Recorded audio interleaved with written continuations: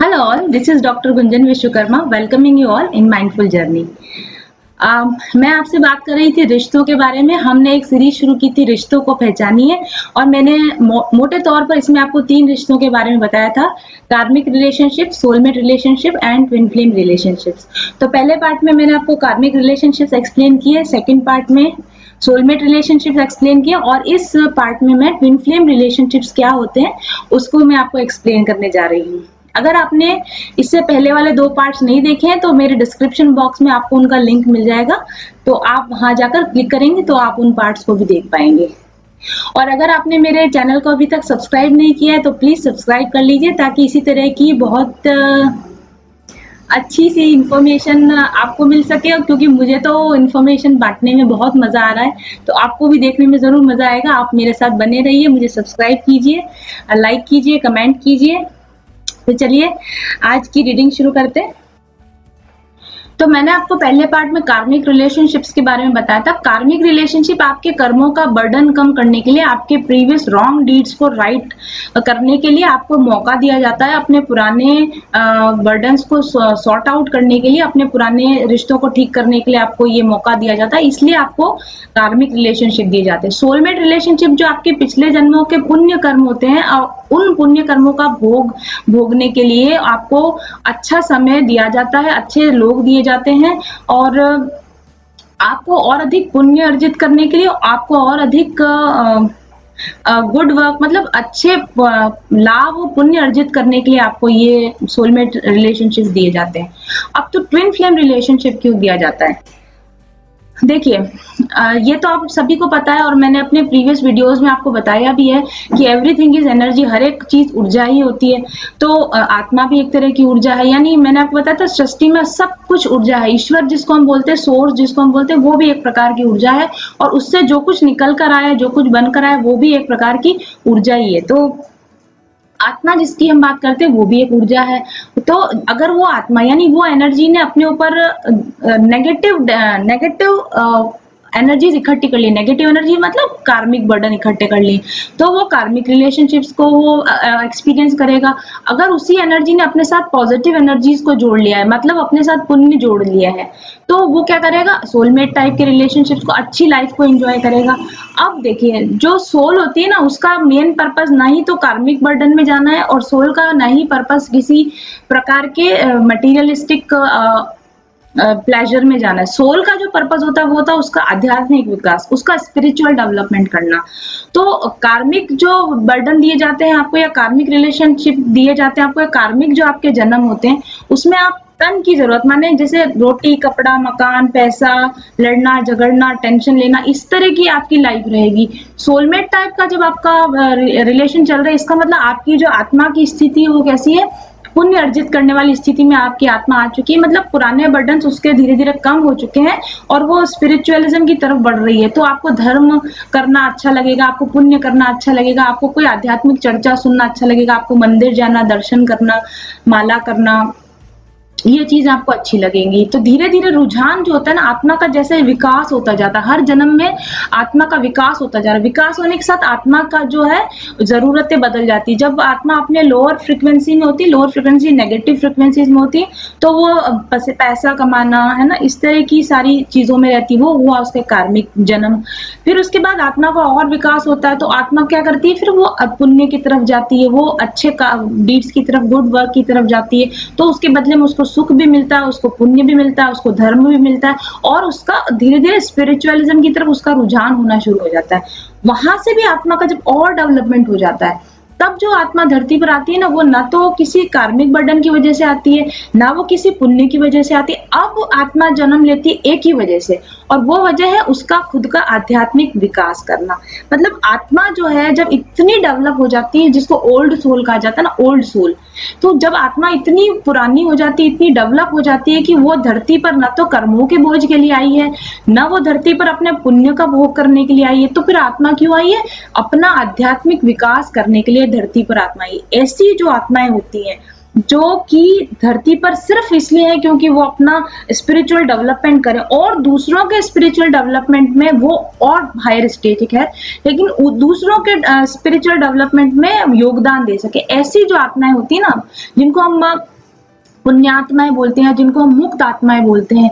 जो जो जैसे हमारे यहाँ पे जो पुराने में जैसे विवेकानंद हुए या शंकराचार्य हुए, उस तरह के जो लोग होते हैं, या जैसे महात्मा गांधी मतलब इस तरह के बहुत जिनका जिनकी जन्म लेने का लक्ष्य ही है आध्यात्मिक विकास करना, अपना आध्यात्मिक विकास करना और लोगों का आध्यात्मिक विकास करना। ऐसी जो डेवलप्ड सोल्स होती है, ऐसी जो ओल्ड सोल्स होती है, ऐसी सोल जो केवल स्पिरिचुअल डेवलपमेंट के लिए धरती पर आती हैं उन, जिनमें सन्यासी आते हैं, जिनमें नंस आती हैं, जिनमें इस तरह के और रिलीजियन के अंदर जो भी इस तरह के जो रिलीजियस जिनमें पाखंडी लोगों की बात नहीं कर रहे हैं हम जो एक्चुअल में स्पिरिचुअल होते हैं, इस तरह के जो लोग होते हैं, वो तीसरी टाइप हो गई सोल्स की, है ना, जन्म लेने का तीसरा कारण। अब उन, इस जो हायर पर्पज है, जन्म लेने का जो ये हायर पर्पज है उसका जो एक टाइप है that is twin flame relationship क्योंकि दूसरे जो टाइप्स होते हैं वो वो वो होते हैं जो संन्या संन्यास ले लेते हैं जो कि संन्यास्त हो जाते हैं जो पारिवारिक जीवन में नहीं जाते हैं और फिर वो एक अलग लाइफ पाथ हो जाता है। लेकिन जिन सोल्स का लाइफ पर्पस होता है अपना आध्यात्मिक विकास करना लेकिन उनका पाथ अलग होता है। मतलब उनका रास्ता वो अलग चुनते हैं। उस रा, अलग रास्ता चुनने वाली जो ये आत्माएँ होती है, जो धरती पर आती हैं, ये ट्विन फ्लेम रिलेशनशिप में हो सकती है। तो अब क्या होता है ये ट्विन फ्लेम रिलेशनशिप मैं इसको अब आपको और डिटेल में समझाती हूँ। आगे का जो कॉन्सेप्ट मैं आपको दे रही हूँ, हो सकता है आपके लिए बहुत नया हो, आपने पहली बार सुना हो, और आप आउटराइट इसको रिजेक्ट करने की आपकी इच्छा हो कि नहीं, ऐसा नहीं हो सकता। तो देखिए, वो तो आपकी फ्री विल है, आपकी अपनी समझ, आपकी अपनी इंट्यूशन और आपका अपना आध्यात्मिक विकास कितना हुआ है, उसी पर डिपेंड करेगा कि आप मेरी चीज़ को कितना रेजोनेट कर पाते कि नहीं कर पाते क्योंकि जो मैं बोल रही हूँ, वो मैं अपने यू समझ लीजिए अपने आत्मिक लेवल से बोल रही हूँ, और आप जो परसीव कर रहे हो ना, वो अपने आत्मिक लेवल से परसीव कर रहे हो। तो अगर मेरा आत्मिक लेवल आपके आत्मिक लेवल से मैच होगा तो मेरी बात आप रेजोनेट कर पाओगे। और अगर आपका और मेरा आत्मिक लेवल मैच नहीं करता होगा तो मेरी कही हुई बात को आप रेजोनेट नहीं कर पाओगे। तो इसमें मेरे को बिल्कुल शिकायत नहीं है, अगर आप मेरी बात को यस कहते हो, यदि आप मेरी बात को नो कहते हो, यदि आप मेरी बात को रिजेक्ट करते हो, वो आपका पर्सपेक्टिव है, क्योंकि वो आपका लाइफ पाथ आपकी आत्मिक उन्नति कितनी है, उस पर डिपेंड करता है कि आप मेरी आगे कही हुई बात को आप कैसे लेते हो। पर मैं जो आपको बताने जा रही हूँ, इसको एक नए कंसेप्ट की तरफ़ समझने की कोशिश कीजिए, और हो सकता है कि आप रेजोनेट कर पाए तो आप देखिए आगे। मैं आपको बताती हूँ ट्विन फ्लेम रिलेशनशिप कैसे होते हैं। देखिए, यहाँ पर मैं आपके लिए कुछ डायग्राम बनाकर लाई हूँ। ये है सोर्स सोर्स माने जिसमें से सब कुछ निकल के आए सृष्टि करता जिसे हम बोलते हैं, या जिसे हम भगवान बोलते हैं, ईश्वर बोलते हैं, जो पूर्ण शक्ति जो सोर्स है सोर्स माने स्रोत, जहाँ से सब कुछ निकल कर आया है, वो कहलाता है सोर्स जिसे हम अल्टीमेट गॉड ऑल बोलते हैं। और ये सोर्स कैसा होता है? अपने आप में पूर्ण होता है कंप्लीट होता है। इसको किसी और वस्तु की आवश्यकता नहीं होती। और सोर्स के अंदर सोर्स को जब ऐसा लगता है कि मुझे सृष्टि करनी है तो उसके अंदर से क्या निकलती है? इसी में से एनर्जीज यानी आत्माएँ बाहर निकलती हैं और सृष्टि का निर्माण होता है। इसको क्रिएटर फोर्स भी बोलते हैं। तो क्रिएटर फोर्स के अंदर से जो कुछ भी निकलेगा ना वो भी पूर्ण होगा। क्योंकि ये देखिए अगर क्रिएटर फोर्स अपने अंदर से कुछ भी निकालना चाहेगा तो वो भी कैसा होगा? पूर्ण होगा कंप्लीट होगा। अपने आप में इतना पूर्ण होगा कि ये आ, इसको कुछ और करने की इच्छा ही नहीं होगी। ये आत्मा इसके साथ एक ही रहेगा इसको स्पिरिट बोलेंगे। अभी ये आत्मा भी नहीं कह सकते। यदि यदि सोर्स अपने अंदर से किसी आ, एनर्जी को बाहर निकालता है उसको एक अलग एग्जिस्टेंस देता है तो वो जो सोर्स में से निकला हुआ जो भी मटेरियल होगा ना, वो स्पिरिट कहलाएगा और वो भी अपने आप में कैसा होगा? पूर्ण होगा, बिल्कुल तो वो कभी भी, और सोर्स क्या करना चाह रहा है? सृष्टि का निर्माण करना चाह रहा है। सोर्स जानना चाहता है कि कंप्लीटनेस की जर्नी क्या होती है। तो सोर्स ने अपने अंदर से स्प्रिट्स सेपरेट करता है और वो चाहता है कि ये स्पिरिट जो है ना एक्सपीरियंस करें कि कैसे अपूर्णता से पूर्णता कैसे प्राप्त की जाती है, वो सोर्स ये चाहता है कि मेरे द्वारा निकली हुई ये स्प्रिट जो है, ये इस जर्नी पर जाए, इस यात्रा पर जाए और वो कंप्लीट होकर वापस मेरे पास आए। लेकिन जो जो ये जो सोर्स निकल रही है ना, ये सोल नहीं है अभी। सोल क्या चीज़ होती है, मैं आपको बताऊँगी। ये स्प्रिट का ही पार्ट है और स्प्रिट के जैसा जैसे समुद्र की बूंद में सारे एलिमेंट समुद्र के होते हैं। तो उसी तरह से ये भगवान का अंश भी बिल्कुल पूर्ण भगवान ही है। तो इस कंडीशन के अंदर इस पर कोई कार्मिक डैप नहीं होंगे तो ये कैसे जन्म लेगा? कैसे ये एक्सपीरियंस करेगा पूर्णता का? तो यदि कोई पूर्ण पूर्ण आत्मा को, पूर्ण स्पिरिट पार्ट को पूर्णता का एहसास करना है तो इसको क्या होना पड़ेगा? अपूर्ण होना पड़ेगा इनकम्प्लीट होना पड़ेगा। तो यहाँ पर सोर्स क्या करता है कि ये जो अपना खुद का हिस्सा था, पूरा हिस्सा, इसको ये डिवाइड कर देता है। इसको डिवाइड करके इसको इनकम्प्लीट बनाता है। और अब इस आत्मा के, यानी स्पिरिट के, इस स्पिरिट के कितने टुकड़े हो गए? दो टुकड़े हो गए। और दोनों ही टुकड़े इनकम्प्लीट है तो अब ये स्पिरिट नहीं कहलाएगा। अब ये जो इनकम्प्लीट हिस्से हैं स्पिरिट के, ये कहलाएँगे सोल्स ठीक है? तो ये सोल्स जो होती है, जो एक ही स्पिरिट के, एक ही के दो टुकड़े जो निकल के आए हैं ना स्पिरिट के, ये दो टुकड़ों में से एक पर तो फेमिनाइन यानी कि फीमेल की तरह के जो गुण होते हैं, वो उसके अंदर ज़्यादा होते हैं और बाकी के आधे टुकड़े में मैस्कुलिन माने जो मेल कैरेक्टर्स होते हैं, वो उसके अंदर ज़्यादा होते हैं। तो इनकम्प्लीट सोर्स भगवान ने क्या इसका रास्ता निकाला है? पूर्णता की जर्नी की ओर जाने के लिए उसने एक स्पिरिट के, यानी एक होल सोल के, एक पूरी, पूर्ण सोल के उसने दो टुकड़े किए हैं।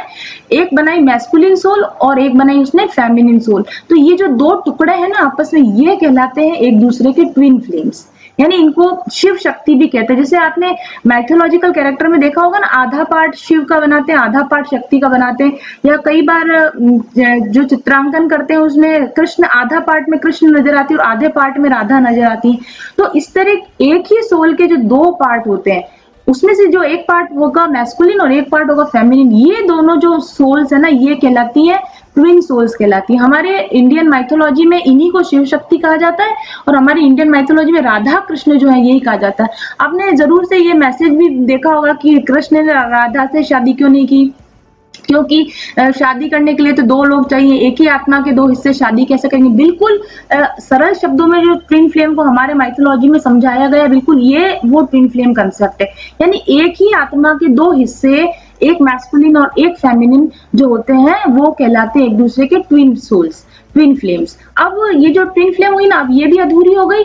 ये जो हिस्सा आत्मा का, ये भी अधूरा हो गया, और ये हिस्सा आत्मा का, ये भी अधूरा हो गया। तो अब क्या होता है? देखिए, अब डायनेमिक बनती है। ये जो सोल है, ये जो सोल है जो पहले पूर्ण थी, इसको स्पिरिट से मिलने की सोर्स से मिलने की इसको कोई इच्छा नहीं थी क्योंकि ये खुद सोर्स थी, ये खुद ही कंप्लीट है। जैसे ये ट्विन फ्लेम में कन्वर्ट होती है, जैसे ये ट्विन फ्लेम में कन्वर्ट होती है और इसकी जर्नी शुरू हो जाती है, इसको फिर से सोर्स की तरफ़ मिलने, जाने के लिए इसकी जर्नी शुरू हो जाती है।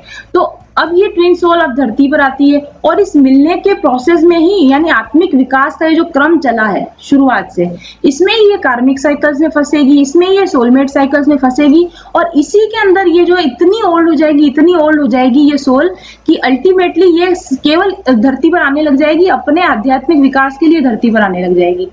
अब क्या होता है? जब ये ये जो सोल्स के पार्ट हैं, जब ये पार्ट जब ये पार्ट्स काफ़ी इन मतलब अनडेवलप्ड है अभी इनका जब विकास नहीं हुआ है, तब ये कार ये सोल अपने लाइफ पाथ पर चल रही है, अलग से लाइफ पाथ पर चल रही है, अपने कार जन्म ले पे जन्म ले रही है और अपना डेवलपमेंट कर रही है।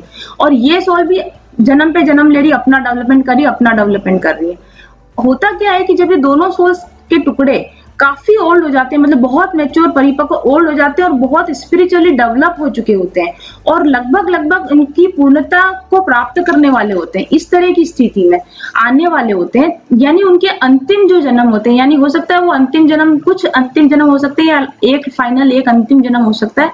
तो अपने फाइनल फाइनल जन्मों के अंदर, जब ये दोनों ही ट्विन बहुत डेवलप हो चुके हैं स्पिरिचुअली इनकी आत्माएँ बहुत डेवलप हो चुकी होती हैं उस कंडीशन में इनका इनका एम क्या रह गया? केवल स्पिरिचुअल डेवलपमेंट का इनका एम रह गया।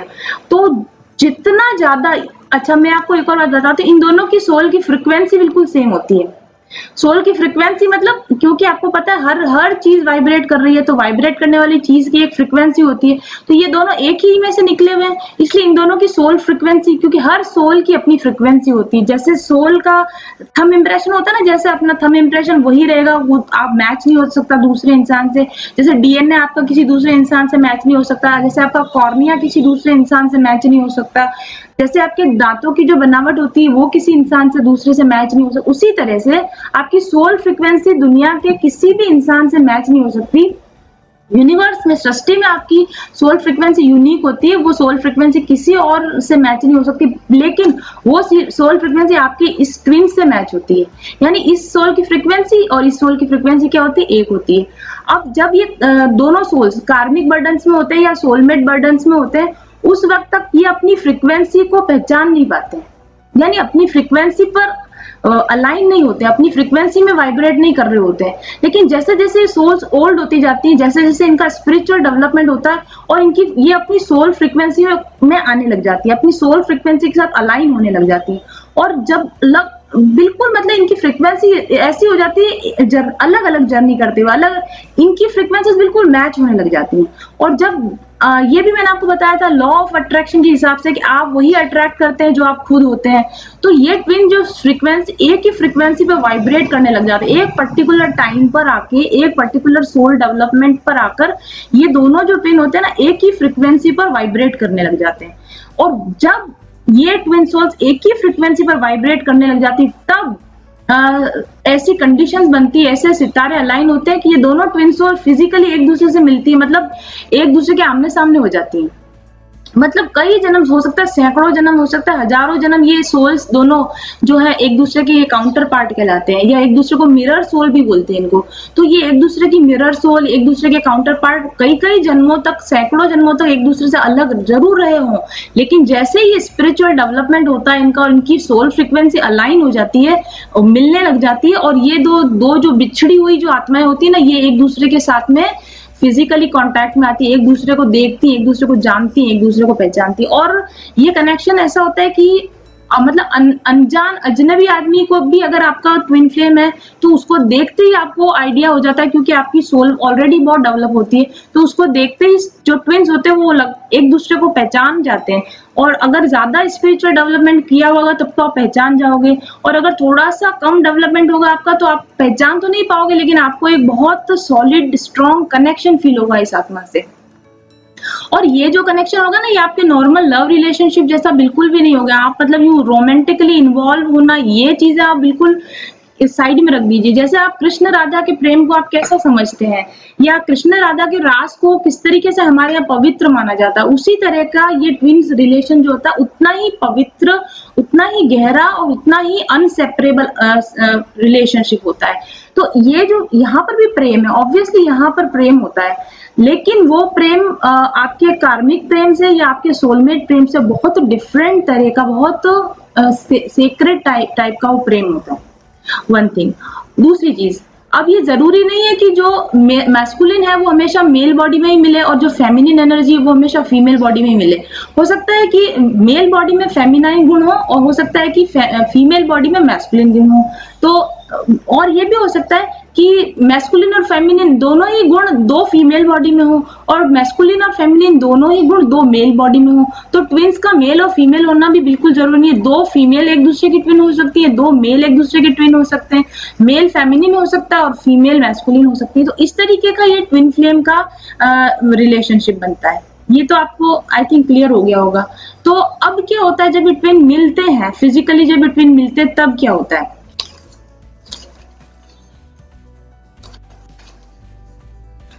ये देखिए, ये जो एक ही आत्मा के दो टुकड़े मैंने आपको बताया ना, ये जो मैंने डिनोट किया है, इसी को ट्विन फ्लेम में इस तरह के, इस तरह के सिंबल से बताया जाता है, जिसको यिन यांग बोलते हैं, है ना? तो एक आत्मा या ये पूर्ण है, एक होल सोल यानी पूरा आत्मा कंप्लीट आत्मा, एक ही कंप्लीट आत्मा के दो हिस्से। एम लिखा है मैस्कुलिन सोल एफ़ लिखा है फेमिनिन सोल अब फेमिनिन सोल जो होती है बाय डिफ़ॉल्ट बाय डिफ़ॉल्ट इसके अंदर मैस्कुलिन कैरेक्टर होता है, क्योंकि हर एक व्यक्ति के अंदर कुछ फेमिनिन गुण होते हैं, कुछ मैस्कुलिन गुण होते हैं, कुछ उसमें फीमेल जैसे गुण होते हैं, कुछ मेल जैसे गुण होते हैं। तो फेमिनिन होते हुए भी उसमें कुछ मैस्कुलिन कैरेक्टर रहेगा और मैस्कुलिन होते हुए भी उसमें कुछ फेमिनिन कैरेक्टर रहेगा। अब होता क्या है कि ये जो फेमिनाइन है ना, इसके ये मैस्कुलिन के गुण इस मैस्कुलिन के साथ बिल्कुल कॉम्प्लीमेंट करते हैं। और इस इसके जो फेमिनाइन गुण होते हैं, ये इस फीमेल के गुणों के साथ बिल्कुल कॉम्प्लीमेंट करते हैं। तो इसीलिए इनको कॉम्प्लीमेंट्री सोल भी बोला जाता है। जैसे कि किसी पजल के दो हिस्से होते हैं ना, इनको फिट कर दो तो पूरी पजल कंप्लीट हो जाती है। इस तरह की ये सोल्स होती हैं। ये एक दूसरे को कंप्लीट करती हैं। एक दूसरे की कमियों को कंप्लीट करती हैं, एक दूसरे को कंप्लीट करती हैं। और क्योंकि इन दोनों सोल्स को एक दूसरे के साथ पूर्णता का एहसास होता है, इसलिए इनके अंदर एक नेचुरल अट्रैक्शन होता है, यानी ये सोल इसको और ये सोल इसको अट्रैक्ट करेगी। चाहे आप किसी भी मतलब जीवन के किसी भी काल में मिले हों, किसी परिस्थिति में मिले हो, किसी एज में मिले हो एज डिफरेंस भी हो सकता है। हो सकता है फेमिनाइन बड़ी हो या मैस्कुलिन छोटा हो या मैस्कुलिन बहुत बड़ा हो फेमिनिन छोटी हो। यानी कैसा भी कनेक्शन हो, अगर ट्विन फ्लेम्स आपस में मिलेंगी तो एक एक तरह का नेवर एंडिंग बॉन्ड इनके बीच में बनता है। और बनने के बाद क्या होता है, देखिए, अब मैंने क्योंकि आपको बोला था कि जो ट्विन फ्लेम कनेक्शन है, ये आपका नॉर्मल लव के जैसा कनेक्शन नहीं होता। तो क्या होता है, जब ये एक दूसरे के सामने आती है सोल्स एक दूसरे के सामने आती है ना तो ये एक दूसरे को ट्रिगर करती है। ट्रिगर करने का मतलब एक दूसरे को विकास के लिए स्पिरिचुअल डेवलपमेंट के लिए ट्रिगर करती हैं। ट्रिगर करने का मतलब ये फेमिनिन जो होगी ना, ये एकदम से अपने स्पिरिचुअल डेवलपमेंट में जाएगी। मतलब इसको जैसे जागृति होती है ना, जिसको हम अवेकनिंग बोलते हैं स्पिरिचुअल अवेकनिंग बोलते हैं। तो ये फेमिनाइन अपनी स्पिरिचुअल अवेकनिंग में जाएगी, क्योंकि इसको याद आ जाएगा कि मैं यहाँ पर क्यों आई हूँ। इसको तुरंत अपने मैस्कुलिन से मिलते ही इसको याद आ जाएगा कि मेरा जन्म लेने का पर्पज क्या था। और ये सीधे अपने स्पिरिचुअल डेवलपमेंट जहाँ भी किसी भी स्थिति में होगी, ये निकल कर अपने स्पिरिचुअल डेवलपमेंट में जाएगी। और ये मैस्कुलिन भी इस फेमिनिन से मिलने के बाद में अपने जो भी कार्मिक बर्डन होंगे डेप्थ होंगे, उनको खत्म करके वो भी अपने स्पिरिचुअल डेवलपमेंट की तरफ़ जाएगा। इस कंडीशन में क्या होता है? मोस्टली इस रिलेशनशिप में इस डायनेमिक में जो फीमेल होती है वो पहले स्पिरिचुअल डेवलपमेंट की तरफ़ जाती है। फीमेल इसलिए स्पिरिचुअल डेवलपमेंट की तरफ़ पहले जाती है क्योंकि फीमेल्स इंट्यूटिव होती है। मतलब फीमेल की जो uh, लॉजिकल माइंड कम काम करता है और फीमेल का इंट्यूटिव माइंड ज़्यादा काम करता है। तो जो फेमिनाइन एनर्जी जिसमें भी होगी, चाहे वो मेल में हो या फीमेल में हो, वो अपना स्पिरिचुअल डेवलपमेंट की तरफ़ जाती है और वो कई मतलब मल्टीप्लाई बहुत तेज़ी से उसका स्पिरिचुअल डेवलपमेंट होने लगता है। और जो मैस्कुलिन काउंटर पार्ट होता है, वो अपनी फीमेल पार्टनर के पीछे पीछे उसको फॉलो करते करते फॉलो करते करते वो भी अल्टीमेटली जाता है स्पिरिचुअल पाथ की तरफ़ ही। अब इस कंडीशन के अंदर अगर दोनों ट्विन फ्लेम्स मिले हैं और कंडीशन सारी ठीक है मतलब कि दोनों अनमेरिड हैं है ना और दोनों दोनों को शादी करने में कोई प्रॉब्लम नहीं आ रही तब तो ऑब्वियसली इनके बीच में शादी होने की हंड्रेड परसेंट संभावना होती है कि वो यूनियन में चले जाए। इसको यूनियन बोलते हैं। तो फ़िज़िकल यूनियन में वो जा सकते हैं। लेकिन अगर ये सोल्स इस कंडीशन में मिलती है कि इनके शादी होने जैसी स्थिति नहीं है तो आप ये ध्यान रखिएगा कि ट्विन सोल्स कभी भी कभी भी आ, अपने कार्मिक रिलेशनशिप्स को छोड़कर, अपने सोलमेट रिलेशनशिप को छोड़कर एक दूसरे के साथ में यूनाइट नहीं होती है। क्योंकि वो, क्योंकि ट्विन सोल्स इतनी समझदार सोल्स होती है, इतनी ओल्ड सोल्स होती है कि वो अगर वो समझती है कि उनकी लाइफ में कोई कार्मिक डेप्ट है तो वो उनको कंप्लीट करना ही पड़ेगा। अगर उनका कोई सोलमेट डेप्ट है तो वो उनको कंप्लीट करना ही पड़ेगा। तो जो ट्विन फ्लेम यूनियन होती है ना मतलब ट्विन फ्लेम जब साथ रहने आते हैं तो वो उसी कंडीशन में साथ रहने आते हैं, जबकि उसका नुकसान किसी भी और व्यक्ति को नहीं हो रहा होता है। अगर उन दोनों के साथ रहने की वजह से किसी भी व्यक्ति का नुकसान होने की स्थिति होती है, संभावना होती है तो ये ट्विन सोल्स जो होती है, ये अपने सेपरेट वेज पे चली जाती है। अलग अलग हो जाती हैं और अलग अलग रहकर अपना आध्यात्मिक विकास करते हैं। आपने जैसे देखा है, राधा और कृष्ण को आपने देखा है, क्योंकि कृष्ण यहाँ पर क्यों आए थे? कृष्ण यहाँ पर बहुत सारी और आत्माओं की मुक्ति के लिए आए थे। तो उनका उनका सोल पर्पस बिल्कुल अलग था और राधा का सोल पर्पस बिल्कुल अलग था। तो कृष्ण और राधा ने सेपरेट रहना तय किया और सेपरेसी में उन्होंने अपना अपना डेवलपमेंट किया। तो ये ट्विन सोल्स इसी तरह के होते हैं। आप जैसे शिव और शक्ति का जो है वो मैरिज हो जाती, क्यों हो जाती? क्योंकि शिव भी वहाँ पर अनमेरिड कंडीशन में थे और शक्ति भी अनमेरिड थी। तो वो ट्विन सोल्स के बीच में यूनियन होना पॉसिबल था। लेकिन अगर आपके लाइफ पर्पस अलग है या आपके कोई कार्मिक डेट बाकी जैसे कृष्ण ने दूसरे दूसरे बहुत से लोगों को प्रोमिस कर रखा था कि जब मैं कृष्ण बनूँगा, तुमसे शादी करूँगा, मैं कृष्ण बनूँगा तो तुमको अपनी पत्नी बनूँगा। ऐसे उन्होंने, इसीलिए उन्होंने सोलह हज़ार समथिंग शादियाँ भी करी थी। तो क्योंकि कृष्ण के कार्मिक डेप्ट बाकी थे और राधा जी भी उधर उनकी भी मैरिज हो चुकी थी। मतलब अगर आपके कार्मिक डेप्ट बाकी होते तो ट्विन सोल्स यूनाइट नहीं होती, वो स्पिरिचुअल डेवलपमेंट पर ज़रूर चली जाती है लेकिन। और अलग रहने के बाद में ये क्या करते हैं? जो उनका जो अधूरा पार्ट होता है ना, क्या कमी रह गई? उनके अंदर क्या कमी है? ये अपने स्पिरिचुअल डेवलपमेंट के द्वारा अपने ही आप को कंप्लीट करता है। और दूसरा जो काउंटर पार्ट होता है ना, वो भी अपने स्पिरिचुअल डेवलपमेंट के द्वारा अपने ही आप को कंप्लीट करता है। और इसीलिए फिर क्या होता है? होल अगेन अपने आप में पूर्ण हो जाते हैं। अपने आप में पूर्ण हो जाते हैं। और अपने आप में जो जो सोल पूर्ण हो जाती है, वो स्पिरिट बन जाती है। स्पिरिट बन जाती है मतलब मुक्त हो जाती है। तो ट्विन फ्लेम्स का एक ही एक ही जन्म लेने का सिद्धांत उद्देश्य है अपने आप को फिर से स्पिरिट बना लेना। सोल से स्पिरिट में कन्वर्ट हो जाना, अपूर्णता से पूर्णता में चले जाना, ईश्वर में मिल जाना, मुक्त हो जाना, जिस भी तरीके से आप इसको समझना चाहें, ये सोल पर्पज इस इस तरह की आत्माओं का होता है। इस होल अगेन होने के बाद में अगर स्थितियाँ बनेगी तो हो सकता है उनका फ़िज़िकल यूनियन भी हो जाए। नहीं होता तो भी इस जन्म के बाद में अब ये और जन्म नहीं लेंगी, क्योंकि ये पूर्ण हो चुकी है, अब ये ईश्वर में जाकर सोर्स में जाकर मिल जाती हैं। तो इस तरह का ये जो बहुत ही सेक्रेट बहुत आध्यात्मिक, बहुत ब्यूटीफुल रिलेशनशिप जो होता है, ये कहलाता है ट्विन फ्लेम रिलेशनशिप तो आई थिंक आपको अच्छी तरह से बात समझ में आ गई होगी। और क्योंकि ये तो हम टेरो रीडिंग का सेक्शन ले रहे थे तो अब क्योंकि मैंने बहुत लंबा टाइम तो आपको समझाने में ही खत्म कर दिया। तो अब एक काम करते हैं, मैं क्विकली दो तीन टेरो कार्ड्स लेकर आपको देखते हैं कि टेरो हमारे साथ रेजोनेट कर रहा है कि नहीं कर रहा है।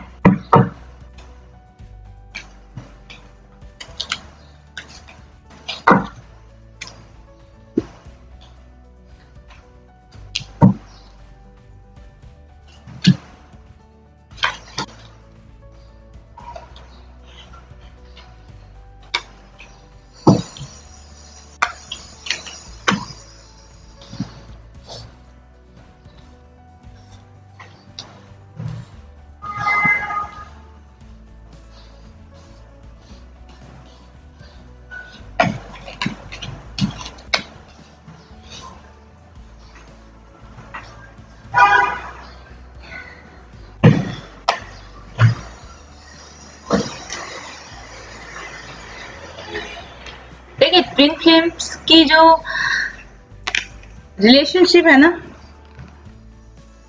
इसकी शुरुआत देखिए फाइटिंग फाइटिंग से होती है। इसकी शुरुआत फाइटिंग से क्यों होती है?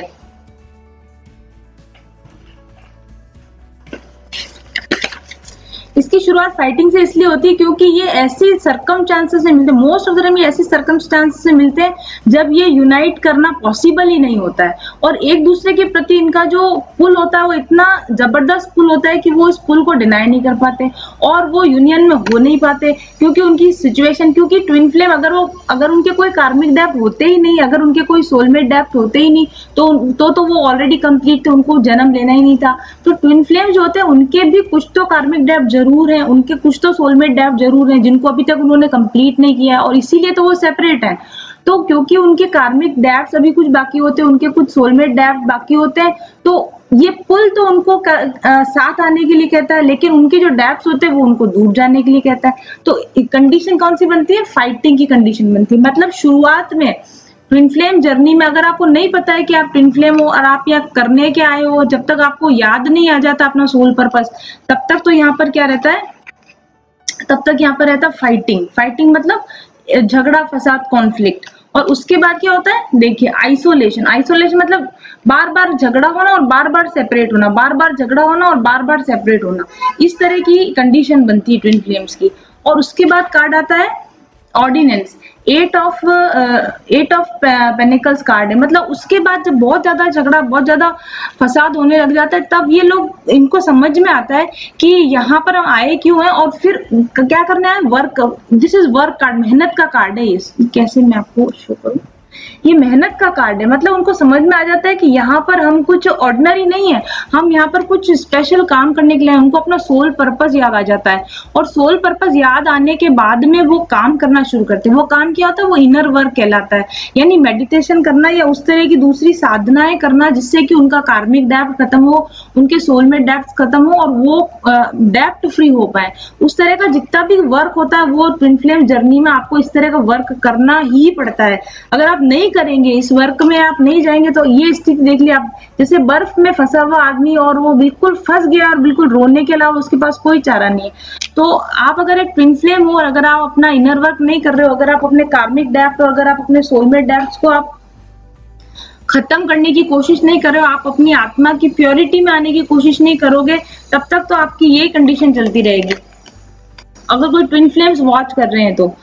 जब तक आप वर्क पर नहीं जाओगे, आप अपने इनर वर्क पर नहीं जाओगे, यानी आप मेहनत शुरू नहीं करोगे, आप कार्मिक डेप्स को खत्म करना सोलमेट डेप्स को खत्म करना शुरू नहीं करोगे और अपनी प्योरिटी में नहीं आओगे, तब तक आपके साथ होने का कोई कोई मतलब नहीं, आप सिर्फ़ आप सिर्फ़ एक दूसरे को हर्ट करोगे, दुख पहुंचाओगे, आँसू पहुंचाओगे फंसा हुआ फील करोगे और फाइट करोगे। ये कब तक होगा? जब तक कि आप अपना सोल पर्पस समझ नहीं जाते और आप अपनी सोल जर्नी पर शुरू नहीं हो जाते। और जब आपको ये समझ में आ जाता है, आपको याद याद आ जाता है कि आप क्यों आए थे और क्या आपको करना है, उसके बाद देखिए कंप्लीशन आप अपने अपने आप में पूर्ण होने की जर्नी पर चले जाते हैं। बताया ना मैंने आपको यहाँ पर। एक बार सोल पर्पज होने के बाद में व्यक्ति अपने आप को कंप्लीट करने की जर्नी पर लग जाता है। कंप्लीशन कार्ड व्यक्ति अपने आप को कंप्लीट करने की जर्नी पर लग जाता है और अब इसको किसी और बाहरी वस्तु की आवश्यकता नहीं रहती है अपने आप में खुद में कंप्लीट हो जाता है।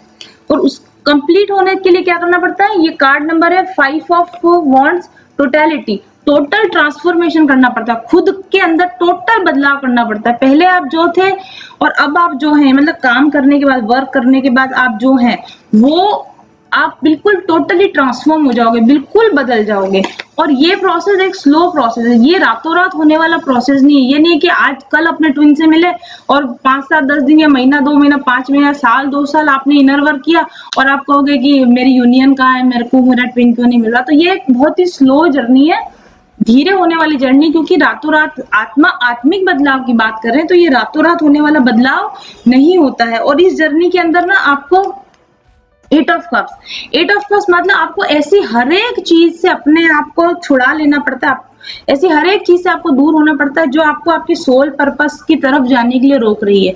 जो आपको आपकी आत्मिक उन्नति की तरफ़ जाने के लिए रोकने वाली स्थितियाँ हैं, चाहे वो सर्विस हो, वो, या वो लोग हो, या वो परिस्थितियाँ हो, वो कोई जगह हो, ऐसी हर एक चीज़ जो आपकी आत्मिक उन्नति में बाधा बन रही है, उस हर एक चीज़ से आपको दूर जाना एट ऑफ़ कप्स मतलब दूर जाना पड़ता है, और knight of wands passionate movement forward कहा कहा मूवमेंट लेना है? पैशनेट फॉरवर्ड मूवमेंट फटाफट से किस तरफ़ बढ़ना है?